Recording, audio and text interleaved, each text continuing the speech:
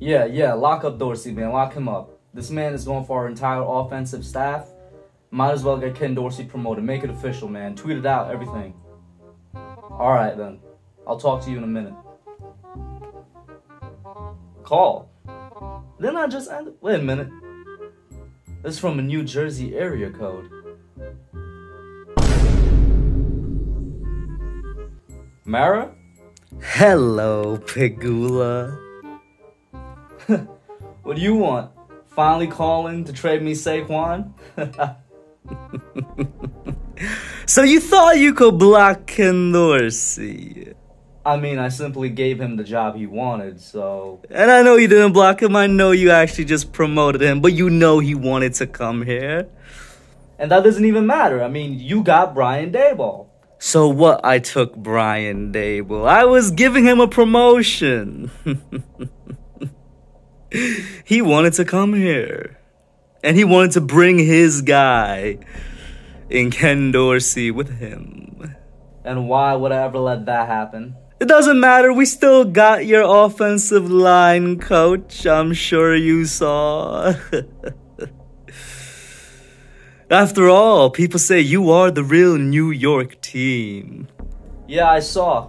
You're not a New York Bills. Maybe that way you could actually have a claim to that New York name. Oh, you mistake me. Be you?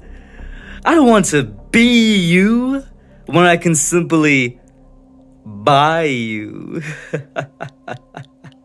Who knows what other coaches I poach from your staff? My pockets are deep and I'm finally using them. Yeah, and I'm sure your fans are finally happy. I got dough, dinero, coins, moolah, goulash, bread. I get it, I get it, man. We're all owners here. We're all rich. All right, I'll stop. But you get the idea. What are you gonna do now? Take my wide receivers coach? Oh, don't worry, I'm not worried about not getting Ken Dorsey. I'm sure you've heard of a name Pep Hamilton. You know, the guy who helped make Andrew Luck Andrew Luck. Or, you know, Pep Hamilton, the guy who helped Justin Herbert, a guy so good that even though Joe Burrow is taking his team to the Super Bowl, there's still fans saying Herbert is better. Pep Hamilton, the guy that made Davis Mills look competent on the Houston Texans. I'm sure you know about him, and if you don't, I'm sure you know about Mike Kafka after all. Patrick Mahomes has been the bane of your existence these past couple years. What? That's a violation. That should be illegal. No, no, no, no, no, no, no, no, no, no. Listen, listen. Mara, Mara, John, John, listen to me.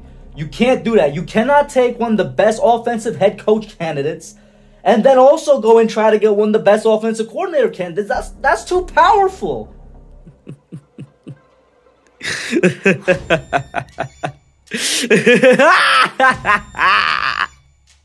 John? John's on sabbatical, Terry. I'm going to take back that claim as the real New York team. I never had anything beef with you. But you took my offensive coordinator. And that means war.